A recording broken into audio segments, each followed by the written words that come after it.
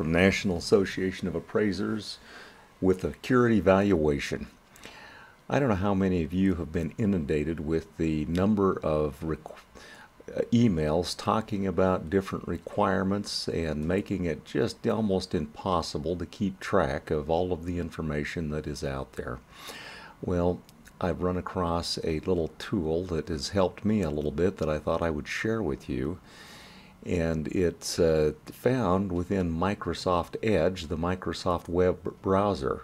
So if you open up a uh, Word document or a, a PDF document and uh, are looking to try to have this thing read for you, this will help give you some ideas on how to get this information. So within Microsoft Edge, there's a little feature called Read Aloud. If you click that, it will read the PDF document for you. Now it's in a, it, it's done in a mechanical way, but it gets you through the material and you can listen to it while you're working. So let me illustrate. I'm going to click the Read Aloud button. Paycheck Protection Program, Now you can PPP, see that I'm able information to go ahead sheet, and start borrowers the Paycheck the Protection appraisal that I Program, need. PPP, to get authorizes up to $349 billion in forgivable loans to small businesses to pay their employees Hit the pause when you're done.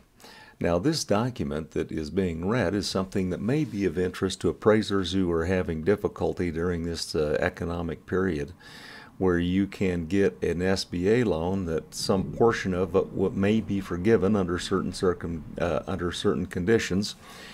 The documents with the applications will be sent out in an NAA 411 if you need any additional information on it, uh, you can uh, reach out to us directly and I'll see that you get a copy of it. But uh, we understand that uh, this is a time of difficulty for many and we hope that uh, all is well. We will see you on the next one. Best to all.